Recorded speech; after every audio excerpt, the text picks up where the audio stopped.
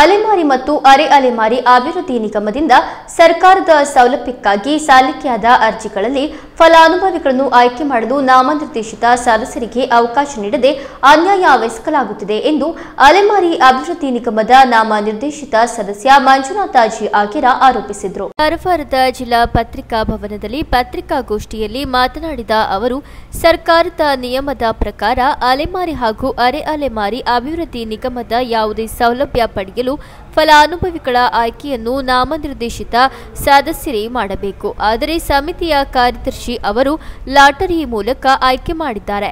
ಉಪ್ಪಾರ ಅಭಿವೃದ್ಧಿ ನಿಗಮದಲ್ಲಿ ಮಾತ್ರ ಲಾಟರಿ ಮೂಲಕ ಆಯ್ಕೆ ಮಾಡುವ ಅವಕಾಶ ಇದೆ. ಈ ಬಗ್ಗೆ ಕೇಳಿದರೆ ಹಾರಿಕೆಯ ಉತ್ತರ ನೀಡುತ್ತಾರೆ ಎಂದು ಬೇಸರ ವ್ಯಕ್ತಪಡಿಸಿದರು. ಆಯ್ಕೆಯ ವಿಚಾರವಾಗಿಯೇ ನಾಲ್ಕು ಬಾರಿ ಸಮಿತಿಯ ಸಭೆ ಮುಂದೂಡಲಾಗಿದೆ. ಆದರೂ ಸರ್ಕಾರದ ನಿಯಮವನ್ನು ಗಾಳಿಗೆ ತೂರಿ ಅಧಿಕಾರ ನಡೆಸುತ್ತಿದ್ದಾರೆ. ಇದರಿಂದ ಸರ್ಕಾರ ಸೌಲಭ್ಯ ನೀಡಿದರೂ ಅಧಿಕಾರಿಗಳು ನೀಡದ ಪರಿಸ್ಥಿತಿ ಎದುರಾಗಿದೆ ಎಂದರು. ಪ್ರತಿ ವರ್ಷ ನಮ್ಮ ಅಭಿವೃದ್ಧಿ ಕೋಶಕ್ಕೆ ಸರ್ಕಾರ ಪ್ರತಿ ವರ್ಷವೂ ಅದರಲ್ಲಿ ಒಂದು ಹೊಸದಾಗಿ ಎಲ್ಲ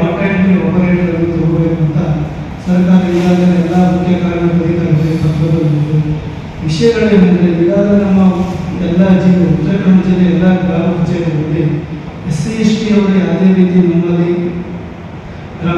ಹುದ್ದೆ ಇರುವುದಿಲ್ಲ ಆದರೆ ತಾವು ತಾವು ರೀತಿ ನಾವು ಎಲ್ಲ ಅಧಿಕ ಅಧಿಕಾರಿಗಳಿಗೆ ನಾವು ಹೇಳೋದೇನೆಂದರೆ, ಗ್ರಾಮ panchayat S C S T ನಮ್ಮ ಹೊಸದಾಗಿ ಆಪರೇಟರ್ ಬರೆದಿದ್ದಾರೆ ಅದರಲ್ಲಿ ಶೇಕಡ ಎಂಬತ್ತರಷ್ಟು ಎಸ್ ಸಿ ಅವರಿಗೆ ಮೀಸಲಾತಿಯನ್ನು ಕೊಡಬೇಕು. ಯಾಕಂದ್ರೆ ಈಗಾಗಲೇ ಎಲ್ಲ ಗ್ರಾಮ ಪಂಚಾಯತಿಗಳಲ್ಲಿ ಇತರೆ ವರ್ಗದವರಿದ್ದು ನಮ್ಮ ಯಾವುದು ನಮ್ಮ ನಮ್ಮ ಜನಸಂಖ್ಯೆಯಲ್ಲಿ ಹೆಚ್ಚಿನ ವಿದ್ಯಾಭ್ಯಾಸ ಕಲ್ತ್ಕೊಂಡು ಇದು ಡಾಟಾ ಎಂಟ್ರಿ ಆಪರೇಟರ್ ಕಲ್ತ್ಕೊಂಡು ಕಾರ್ಯ ಅವರಿಗೆ ಮುಖ್ಯ ಅಧಿಕಾರಿಗಳಿಗೆ ನಾವು ವಿನಿಸಿಕೊಳ್ಳುವುದೆಂದರೆ ಈ ಈಗ ನಡೆಯುವ ನಮ್ಮ ಮುಖ್ಯ ಅಧಿಕಾರಿಗಳು ಒಂದು ಕಮಿಟಿಯಲ್ಲಿ ಒಂದು ಸಮಿತಿ ಇರ್ತದೆ. ಸಮಿತಿಯ ಅಧ್ಯಕ್ಷರಾಗಿರ್ತಾರೆ.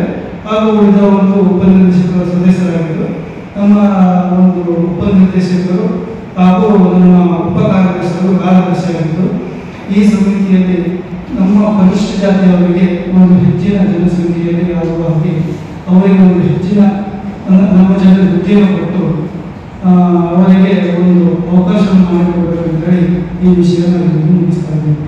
ವಿಷಯ ನಂಬರ್ ಎರಡು ಏನೆಂದರೆ ಉತ್ತರ ಕನ್ನಡ ಜಿಲ್ಲೆಯಲ್ಲಿ ಅಲೆಮಾರು ಮತ್ತು ಅರೆ ಅಲೆಮಾರಿ ರಾಜ್ಯ ಸಂಘಟನೆಯ ಉಪಾಧ್ಯಕ್ಷೆ ಮಂಜುಳಾ ಮುಕ್ರಿ ರಾಜ್ಯ ಸಂಘಟನೆಯ ಕಾರ್ಯದರ್ಶಿ ರವಿ ಮುಕ್ರಿ ಮುಕ್ರಿ ಸಮುದಾಯದ ಜಿಲ್ಲಾ ಘಟಕದ ಅಧ್ಯಕ್ಷ ಎನ್ಆರ್ ಮುಕ್ರಿ ಶೇಖರಾಜೆ ಹಳ್ಳೇರ ಹಾಗೂ ರಾಘವೇಂದ್ರ ಮುಕ್ರಿ ಇದ್ದರು. ಕೇಂದ್ರ ಪ್ಲಸ್ ನ್ಯೂಸ್. करवरा